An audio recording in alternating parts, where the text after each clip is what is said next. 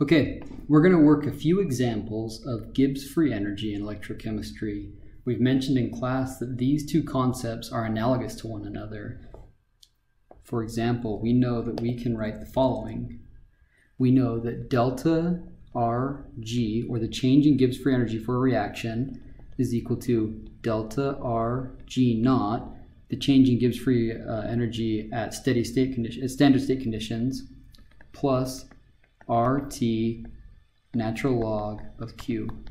We also know that delta V for a reaction, the voltage of a reaction is equal to delta V naught, the overall cell potential, minus RT over NF times natural log of Q, our reaction quotient. We're going to use these to solve some example questions. The first question is given as follows. If we have 2 moles of SO2 gas reacting with 1 mole of O2 gas to form 2 moles of SO3 gas, and we are given that the equilibrium constant for this reaction is 10 at 960 Kelvin, we are asked to calculate what would be delta Rg, the change in Gibbs free energy for the reaction, and indicate the direction of spontaneous reaction if we initially have the following partial pressures. So with these three values for partial pressures, we would be able to calculate Q. Q is equal to products over reactants. If you have gaseous species, you use the partial pressure. If you have solids and liquids, you use activities. Or in this class, we simply substitute 1 for them as an approximation. So let's go ahead and plug these in. We know that our products are going to be the partial pressure of SO3, that's going to be squared because that has a coefficient of 2. This is divided by the partial pressure of oxygen multiplied by the partial pressure of the SO2 gas squared.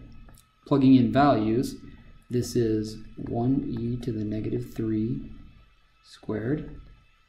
This is 0.2 and that is 1e to the negative 4, and that is also squared. When I plug those values in, I get that q is equal to 0.05. Because q is equal to 0.05, but it is not equal to k, which equals 10, we know that we are not at equilibrium. Therefore, the reaction will go either forwards or backwards. So how do we figure out whether it goes forwards or backwards?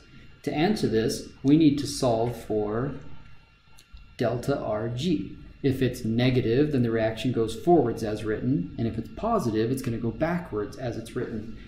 In order to solve for delta Rg, we need to know delta Rg naught. We don't know that yet. R and temperature we know, and Q we just solved for. So as soon as we figure out what delta Rg naught is, we can go ahead and solve this question. How, though, do we figure out what delta Rg naught is? We need to take advantage of the additional information given in the problem, which is that the equilibrium constant at this temperature is 10. Well, at equilibrium, we can modify our expression as follows. We know at equilibrium, delta Rg must equal 0 if it's at equilibrium, then the rate of the reaction going forwards and backwards is equal to one another. Therefore, there is no net change in the free energy. It's just equal to zero. Therefore, that is then equal to delta R G naught plus RT natural log of K. We use K because we're at equilibrium. Or in other words, K is a special value for Q, which can only be used when it is at equilibrium. We know what K is, we know R, we know T, the only thing we don't know is delta R G naught, but we can solve for it. So delta R G naught is going to be equal to negative 8.314 joules per mole Kelvin multiplied by 960 Kelvin.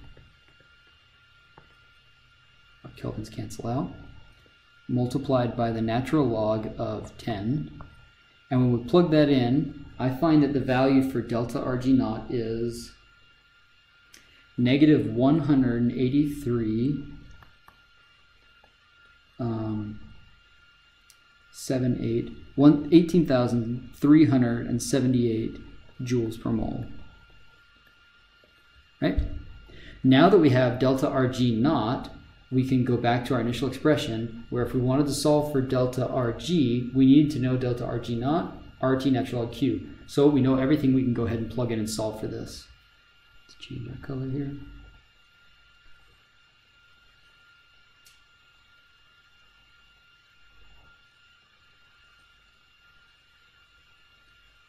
delta Rg will equal negative 18378 joules per mole. This will be plus 8.314 joules per mole Kelvin times 960 Kelvin multiplied by the natural log of 0.05, which is Q, which is what we solved for earlier. Right? We're going to plug that in right there.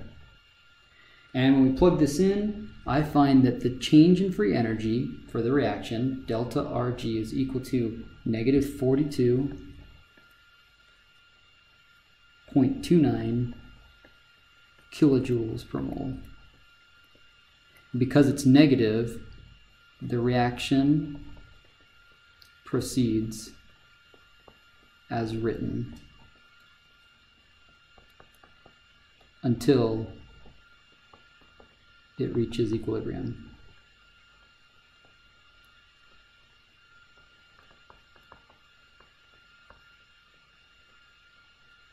All right, so that's the first type of question that you run into. Notice that it had two parts.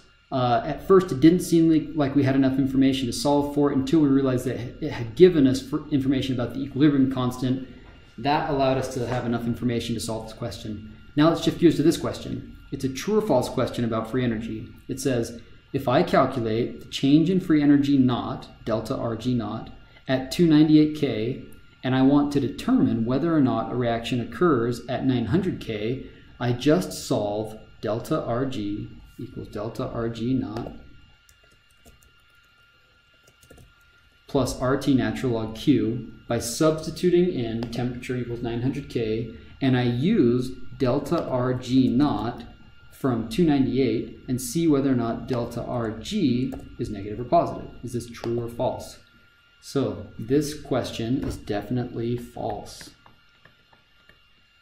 The reason why is because delta Rg naught at 298K does not equal delta Rg naught at 900K. Those are different values. And when we when we want to solve for whether reaction occurs at 900, we want to solve for delta Rg. We would need to use delta Rg naught at 900K and not at 298K. So this is false. We couldn't just plug that in. That would give us an incorrect answer. Okay, let's do the last problem, which is an electrochemical reaction between silver and copper. Now using our standard reduction potential table, we can look up what are the reduction potentials. And we see that one silver ion picking up one electron to form silver has a voltage of 0.8 volts. Meanwhile, one copper 2 plus ion picking up two electrons to form copper has a voltage of 0.34 volts. So the first question we need to ask ourselves is which species is oxidized and which species is reduced. Now, in this case, both of these values are positive. So which one gets oxidized? Remember, a positive voltage is spontaneous. So what we want is which one of these reactions will be spontaneous? The one that's more positive. So this one will occur as written. Therefore, our copper, we're going to switch that, and that's the species that will be oxidized. So let's write this out. Ag plus, picking up one electron to form silver metal, Meanwhile, we're going to reverse the copper. This is copper metal yielding two electrons to form copper 2 plus ions. If we try and add these two equations together, we don't have the same number of electrons on either side. Therefore, we know that we have to modify it. We can multiply both sides by 2.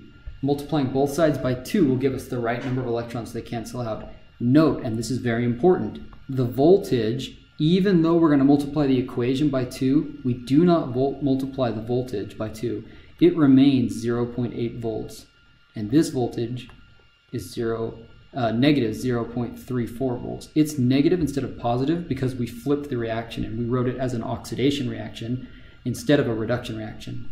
Now we can combine these two equations and we're left with 2 silver plus ions plus 2 electrons um, plus copper yields two electrons plus two silver ions, or silver metal, excuse me, plus copper 2 plus ion, right? The two electrons cancels out on both sides of the equation, and our delta V naught is just going to be the addition of those two terms together, which when I add them is, uh, is equal to 0.46 volts. Okay, now that's just the overall cell potential. That's not the voltage that we're going to read if we were actually to put these things in solution and hook it up to a multimeter. That value we have to solve as delta V, which is equal to delta V naught minus RT over NF natural log of the concentration of our species which is oxidized, that's going to be copper 2 plus, over the concentration of our species which is reduced, which is going to be silver plus. Now, because there are two silver ions there as a coefficient for the silver ions, we need to raise this to the 2 power, right? So we can go ahead and plug in our values and solve for what this will be. This equals 0.46 volts minus 8.314 joules per mole Kelvin this is happening at room temperature, so let's just put 300K. Divide this by um, 2, since there's two electrons involved in the redox reaction, multiplied by 96,500 coulombs per mole. Oops. All of this multiplied by the natural log of the concentration of our copper, which is 2 molar, divided by the concentration of our, I'm going to leave out the units because you can't have units in natural logs. So that's 2 divided by the concentration of our silver ions, 0.5 squared. Okay, we are now ready to go ahead and punch in values for this. And when I do so, I find that the value for our delta V is equal to 0.433 volts.